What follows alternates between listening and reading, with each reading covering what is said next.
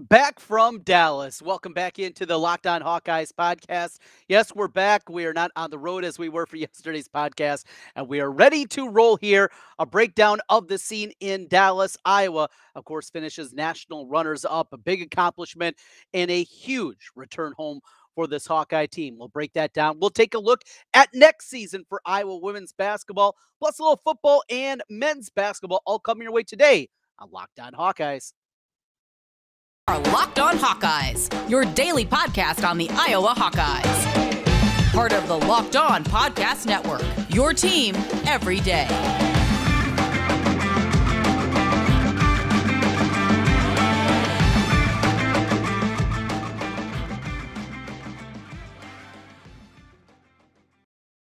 Welcome in. I'm Trent Condon, and this is the Locked On Hawkeyes podcast. Thanks for making Locked On Hawkeyes your first listen every day. We're available wherever you get your podcasts. You can also find us on YouTube. And if you were viewing us after the game last night, as I made the drive home, pulled into the driveway 3:37 a.m.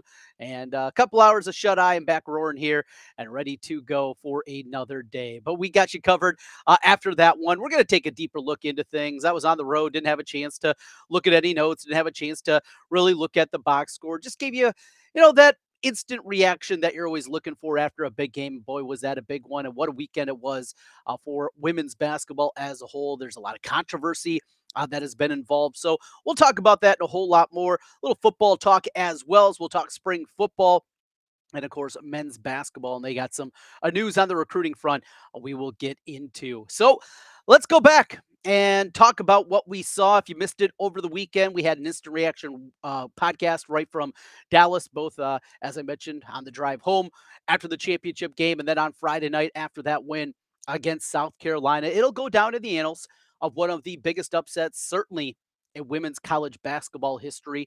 It will go down as a game that'll be well remembered. South Carolina looking to become a back to back champion, looking to complete an undefeated season. And Iowa came out there and won the game.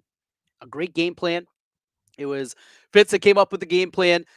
And that one was one that we'll remember for a long time. But, you know, we talked about that. And we talked a little bit about the game yesterday, but let's dive in a little bit deeper. We're also going to take a look forward here at next year's squad. I know a lot of questions about that. I've, I've, had a lot of comments on Twitter. You can find me there at Trent Condon. And on the YouTube side of things, always hit us up with the comments there.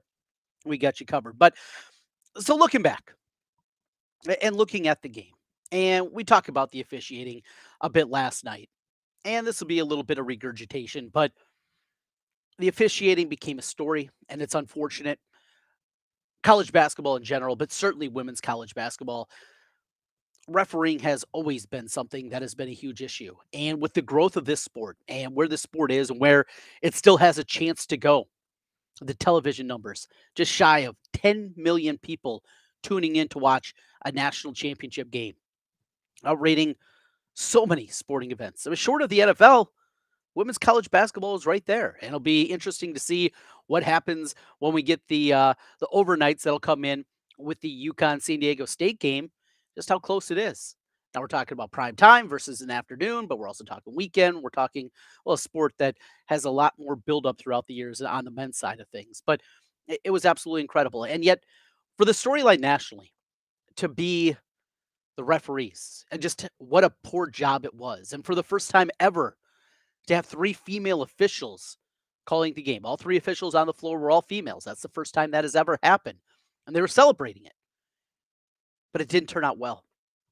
Kim Mulkey and her intimidation factor that she has.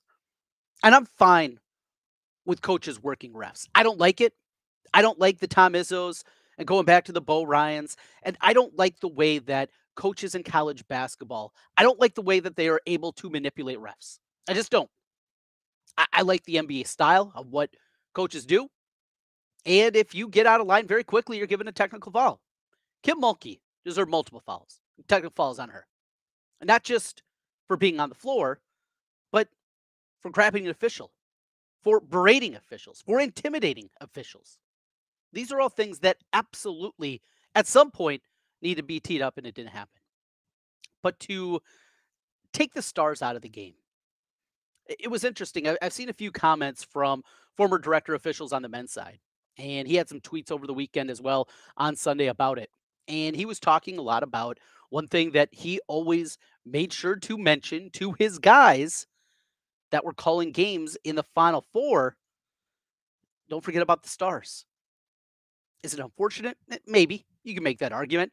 Hey, a foul for one person should be a foul for another. If it's a foul, it's a foul, right? We want to see the players. We want to see the best players on the floor. And we were not given that availability in this game because an officiating crew that was overwhelmed and intimidated and bad. No doubt about it. It's unfortunate that that will be a storyline. And then the other storyline that, that has continued to build is Angel Reese and her actions at the end of the basketball game. For over a minute, trying to get in the face of Caitlin Clark, looking for a reaction. And that's what she was looking for. When I first saw her, it was at the free throw line, she pointed to her finger and pointing, I'm getting a ring. And I kind of, though I was frustrated, I, I, I had a little chuckle inside of me. Saw that in the arena from up in the 300 section that we were, and a little chuckle. But then taking it to another level and pacing around after Caitlin Clark. I mean, it's just a bad look. It's not a white black thing. It's not. And, and it's become this racial issue throughout the course of the last 24 hours. And it's unfortunate that that's the way that this has gone. There are always, not everything is black and white, not literally, but figuratively in this sense. And there are different areas. She was doing it for a reaction. She was doing it to intimidate. She was doing it to be a bit of an a hole. That was what her actions were. Caitlin Clark, in the heat of a battle, that's going to happen. But one thing to remember, Hawkeye fans, we can't have it both ways. We cannot enjoy Caitlin Clark for everything that she has. We don't just love her because of the playing ability that she has and the deep shots. And that's just obviously a huge part of it. And the playmaking ability that she has and doing things that we haven't seen, certainly an Iowa player before, do before. And most college basketball players play at this kind of level. We just haven't seen it. But we also love the extra that she has some attitude, that there's a little bit of sass to her game. We like that part of her. I think most of us do. And you can't have it both ways. And we can get into the back and forth. Did she take it too far? Did Angel Reese go too far with her actions? And I think she did. But we can't celebrate Caitlin Clark and everything extra that we get with her and then vilify somebody that does it just not the way we want it. Because guess what? There's a lot of fan bases out there that don't like the way that Caitlin Clark does it. And yet we love her for it. We have to remember that. A little attitude, a little rivalry is not a bad thing. Lisa Bluder, Hey, see if LSU wants to do a home and home. That'd be pretty good, wouldn't it? Get a rematch, regular season game. You looking for something November, December? Eh, I think a lot of people tune in for that one too. Give it another opportunity. I'd love to see it. Defensively, Iowa wasn't good enough. Iowa couldn't get stops on the end of the floor. They just couldn't. And yeah, they had a player that hadn't scored since the Michigan game back in the round of 32 that goes off in the first half of the game and hits five three pointers and chucks one up at not even looking at the rim. That was right in front of us, and she wasn't even looking at the rim. She just flings it and bank in. They're on fire. Iowa battled back, got it within seven. The unfortunate technical foul, but not only that. Remember what happened right there preceding it was a fourth foul on Monika Czinano, which was a brutal call, and so many of those brutal calls. And, you hate for Monika Czinano. You hate for McKenna Warnock. That their careers came to an end, not in a loss. Losses are going to happen. And, and I think if everything was fine officiating, the way that game played, Iowa wasn't going to win either. But you didn't have that opportunity to let them lay it on the line. And it was because of the officiating. That's tough to swallow. What we do know is those two women will absolutely have their head held high as they should. And us as Hawkeye fans, the way that we traveled, the way that we supported, and the way that we have loved this team, a little bit of credit to you as well. We'll continue here on Locked On Hawkeyes, a little bit more on the women's basketball team. What does the team look like next season? Well, we mentioned those two seniors departing. What does that mean for the future of Iowa basketball? Is there an opportunity in the transfer portal? What's available scholarship wise? We'll get into that. Plus, a little football and men's basketball talk here as we roll through on a Tuesday edition. This is the Locked On Hawkeyes podcast. Today's episode of Locked On Hawkeyes is brought to you by our friends at Built. The Built March Madness bracket is here. We know you have a favorite bar or puff. For me, it's the brownie batter. Now it's time to make it count. Go to builtmarchmadness.com to vote for your favorites.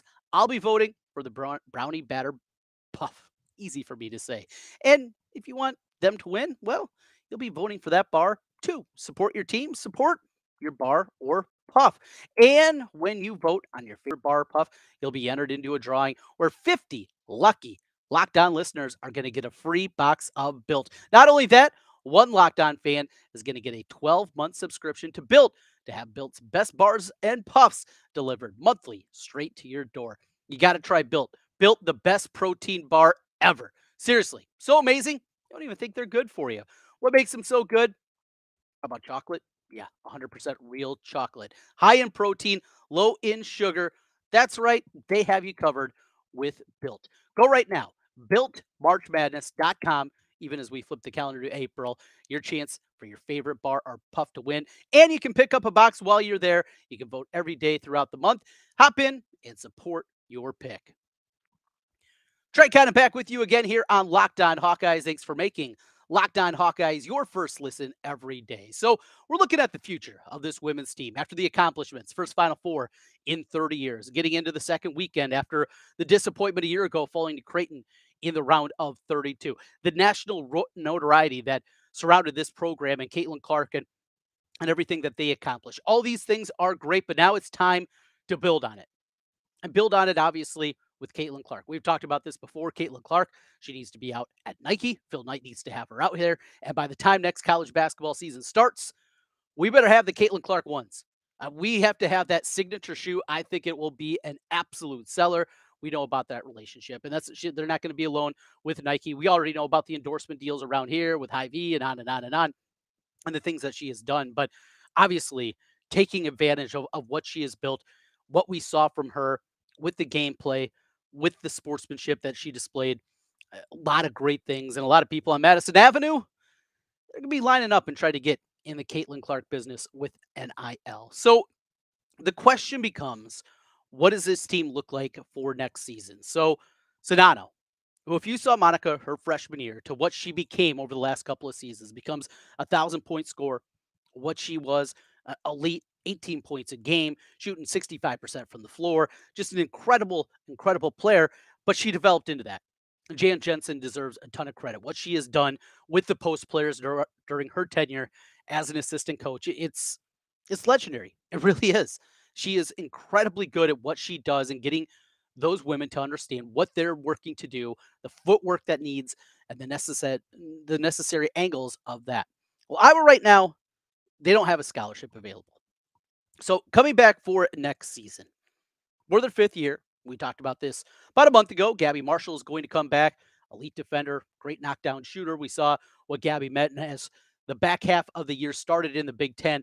That shot started to come around a little bit. Even in the loss to Maryland, one of the low points of the Iowa basketball season this year, that was the one where she found her shot. And I remember talking about that a little bit after the game that I think that could be a bright light. And that certainly was the case the rest of the season. She was certainly banged up, took that one terrible fall, fell on her tailbone. She had a cold. She was battling that throughout the weekend.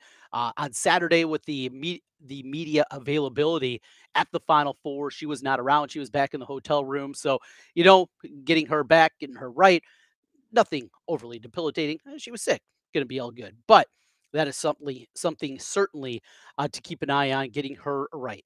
Caitlin will be back for her senior year, though she does have two seasons of eligibility with the COVID year that was also awarded for uh, the players that were played, not just, of course, the 2020 season that came to an end early, but also players that played in 2020 21. Also got another year of eligibility. That was Caitlin's uh, freshman year. Molly Davis, we saw this year, came in from Central Michigan at times, I think a little bit of a disappointment. I, I, anticipate a little bit more of a playmaking role for her but a year making that jump from the MAC to the Big Ten, it's a big jump up. And we saw that at times this season. But, you know, she can provide certainly a flurry uh, for this team. And then the captain, Kate Martin, who is so important to what they do, both ends of the floor, shot it well in the championship game. Uh, she knocked down some threes. She didn't take a ton of them in comparison for the minutes on the floor, but a more confident shooter. Uh, what she became shot at a really good percentage, and I think obviously there's going to be shots to go around next season. We're going to see even a bigger offensive role for Kate Martin. Great defender, another one that is a plus defender on that end of the floor. Can do so many different things for them, and a really nice compliment in the backcourt for what they have with Caitlin Clark. So those will be your seniors, as mentioned. Caitlin Clark does have another year of eligibility, but final season for Marshall, Davis, and Martin. Sydney Affolter, we I thought saw some good moments from her. Her minutes are going to go up, but you're looking for some size inside. Addison O'Grady gave them minutes with the foul trouble. Certainly that Czinano had uh, during the last couple of games, and I think she went in there and acquitted herself too. Now, is she a player that's going to be able to play the post for 28, 30, 32 minutes a game and do it at the level that we've seen over the last five, six years? I'm not sure. There, there's work that needs to be done. And that's why, if there is a scholarship that becomes available, certainly a post presence is something that you're going to look at. We saw the difference. And yes, Iowa got the win against South Carolina, but you saw what that height advantage was, that athletic uh, advantage was. That's what they have to be shopping for more than anything in the portal. If you can find, and it's going to cost some NIL money to make it happen uh, Iowa Swarm. If you want to donate to them, make that help, and it certainly will. IowaSwarm.com is where you can go. An unpaid endorsement for them. They, uh, it, those are important things, though. Those are important things, and in order to be able to uh, get players like that, get maybe not somebody like Angel Reese. I mean, to get that kind of player, what we saw with uh, the Brazilian girl from South Carolina at six foot seven. Look, they're they're going to be if any of them enter the portal, uh, there are going to be a lot of people, a lot of suitors that are going to be out there, but one definitely to keep an eye on there. I think that's where they have to go. But as mentioned, they do not have a scholarship. Uh, a couple others. We have uh, what we saw from Hannah Stuelke. You anticipate she's going to be a starter probably next year. She'll take over that four role, depending on what happens at the center position. AJ Ediger, uh, a big prospect coming out of high school from Michigan, I believe. Uh, haven't seen a ton of her at this point. Goodman at the center, six foot three, good size from her. Uh, what else? You got Wettering, uh, Kylie Feuerbach, who sat out this season with the torn ACL, the Iowa State transfer. I know there's some big expectations for her. Uh, you throw Jada Gyamfi in there, played at Urbandale and Johnston here in Central Iowa, called a lot of her games, and I think there's some upside to her game.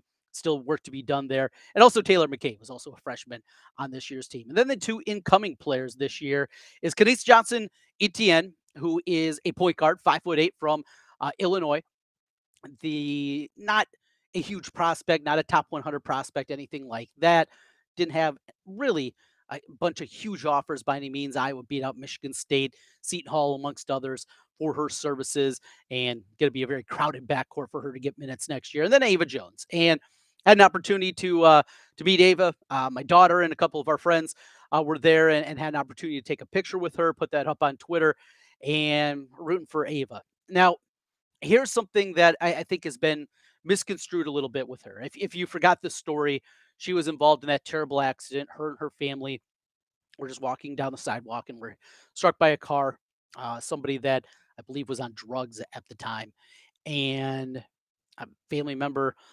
Uh, dad lost his life. It was absolutely devastating, and the injuries that she sustained were also devastating. Just getting back on her feet is an accomplishment. And you can still see she's still got braces on both of her legs. I mean, the, the road is incredibly difficult for her. But a lot of people anticipated, yeah, great that Iowa's obviously honoring her scholarship, but the anticipation was that it was going to be a hardship waiver. And what that means is you are on scholarship, you're on an academic scholar or a, a athletic scholarship, excuse me, but you're not able to play We've seen this happen a bunch of times with football players where injuries have taken them away and they still are going to school at the University of Iowa. They still on scholarship, but it does not count against your scholarship limit. Well, once you go on one of those waivers, you are no longer eligible to play college sports again. And Ava Jones still wants to give it a shot, wants to go through the rehab, wants to get back out there on the floor, wants to have that opportunity to get her body right and give it a chance. Now, I'll be honest, talking to some people uh, in the know, the chances are very slim. that she'll get back to that level, that she'll be a college athlete. Still a long ways to go. Now, you don't want to bet against her, but we're talking about something that might be still years down the road. And until she makes the decision that I'm going to finish up as a student, and I'm sure still be part of the team, but not eligible to play on the hardwood, that's a decision that they're going to leave up to her. But she will not be on medical hardship, at least at this point in time. That is the talk because once she is on there, again, she will not be eligible to come off and never play college basketball, NCAA basketball again in her career. And that's tough to give up. You completely understand that. So Iowa is out without a scholarship right now. They're at the 15 scholarship limit. Uh, is there a possibility or we'll see a player or two that decide to transfer? Absolutely, you can see that. But you know, the other part is it's hard to see Lisa Bluder and that staff run anybody off. We see the circle, right, that they were in during practice, before games, all about that circle, the tight knit circle, and then everything we need is inside this circle. They they talked about that a lot. You don't anticipate you see that, but players can see writing on the wall. And and honestly, Iowa needs help. If they're going to get to that level again, they're going to play at that level. I think they need another big and maybe even another a wing type of player that can help them with with a little bit more size. So those are the couple of things. But until a scholarship opens up, that's what they're going to have. So no, there was a lot of questions about that, and uh, just filling you in a little bit about what it looks like next season. That is the roster as it's currently constructed for women's basketball. Wrapping things up, a couple of notes on football and men's basketball when we come back. This is the Locked On Hawkeyes podcast. Condon back with you one final time on Locked On Hawkeyes. As always, thanks for making Locked On Hawkeyes your first listen every day. So, mentioned there's a lot going on, not just what is happening, obviously, on the women's basketball side, what a season that it was, but Iowa on the men's side is looking in the transfer portal. And they're also, as the women's team, if a scholarship becomes available, will be looking for a big. That'll be the same for this Iowa basketball team after the departure of Filip Rebraca they will be uh, out there and they have picked up an official visit coming in from St. Francis of Pennsylvania. It'll be Josh Cohen that'll come in. Now, looking at Cohen, he averaged 21.8 points per game. He has two years of eligibility remaining, 8.3 rebounds, a block, and also two and a half assists. Not bad for the big guy. Listed at six foot 10, 220 pounds.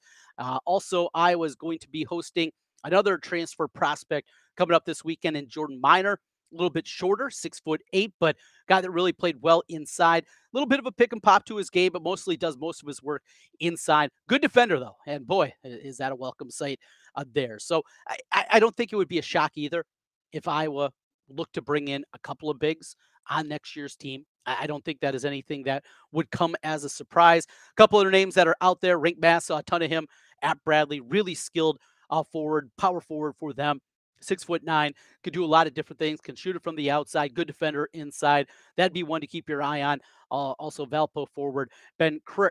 Uh, is also in the transfer portal, and there's been some connections. There's a ton of names out there. We see interest all the time. I had the Wofford uh, guy that, that we've talked about a little bit in the past, so that's certainly going on. Just keep your eye out. Uh, this NIL world has completely changed the way that recruiting is, building a roster is completely different. Fran McCaffery is working it though, and he understands the importance of continuing this momentum for Iowa basketball. Eight tournaments the last 10 years, something that hasn't been done in Iowa basketball history. They have never before made eight tournaments in 10 years, and yet that's where they are at this point in time under one head coach. Now, we don't get to the second weekend. We know all that. We've gone through it time in and time out. We know the importance there. Finally, football. And I want to talk some more football later this week. Hopefully, we can uh, track down LeSean and talk with him a little bit more about spring practice. But we'll start to return our attention. This women's basketball team just they grabbed it all and uh, what we saw. But want to uh, want to get perspective on this team and what they're going through with Cade McNamara and hearing a few reports. And let's be honest, it's very difficult to decipher some of the reports that that you get from time to time.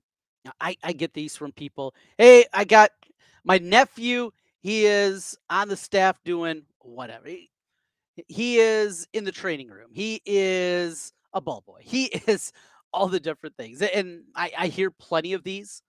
And you want to be careful because A, you don't know exactly how truthful this information is or how it's misconstrued. And that can happen plenty of times. You have to be careful with that. But just go, throwing it out there to throw it out there. Now, it's no surprise. The defense is a lot better than the offense. Shocker.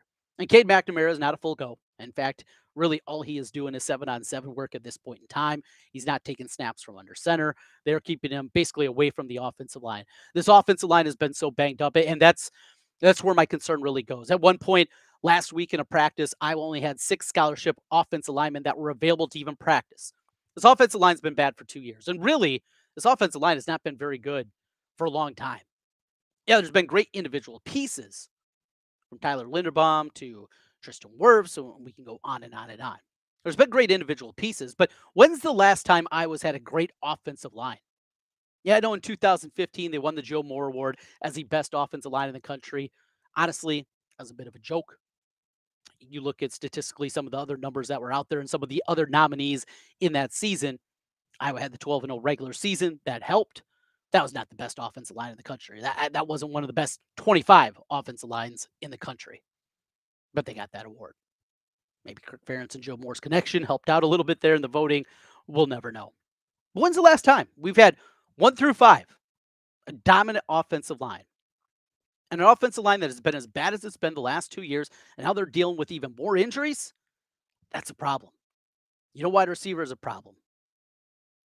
McNamara's not out there. It'll look different. But what are they implementing? What are they doing? Are they just running it back? Is this just going to be the Iowa offense again, just with a better signal caller, and we hope for the best? Or are they really doing real work, tangible work to improve the offense? I'm not sure. And from what I've heard, and again, it's scattered reports, but from what I have heard, don't expect a whole lot of change. It's going to be a whole lot of what we've seen. Now, it can be good. Was it the 2019 Iowa team when they had Nate Stanley out there. That was a prolific offense at times. Consistency wasn't an issue, no doubt. And when they played some of the elite teams, they take a step back. But there were teams with Stanley that they could really move the ball up and down the field. That's the hope. That's the hope they can get back to that level because the defense was very good at that time and it's gone up another level. I think this defense is going to be great. The depth that they have at defensive line is absolutely incredible.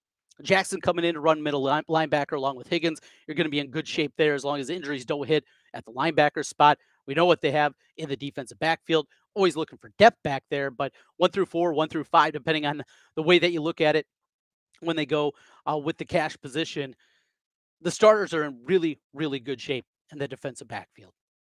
They're going to be elite again defensively. Can they be competent offensively? That remains the great question. Thanks for making Locked On Hawkeyes your first listen every day. We're available wherever you get podcasts. Make sure you hit that subscribe button if you're on YouTube and give us a five star review if you're on the podcast side. Helps us get in front of more Hawkeye fans. Help out the analytics. Always greatly appreciate all you out there. Happy to be home from Dallas. Not a whole lot of shut eye. We will get a little bit more and get roaring. Get back to a normal schedule here as we make our way through April. We got Iowa baseball. We got Iowa softball going on, track and field. A lot happening in the world of Hawkeye. Spring football. The transfer portal is open. There's always plenty to talk about in the world of Hawkeye athletics. We'll talk to you again tomorrow. Go Hawks.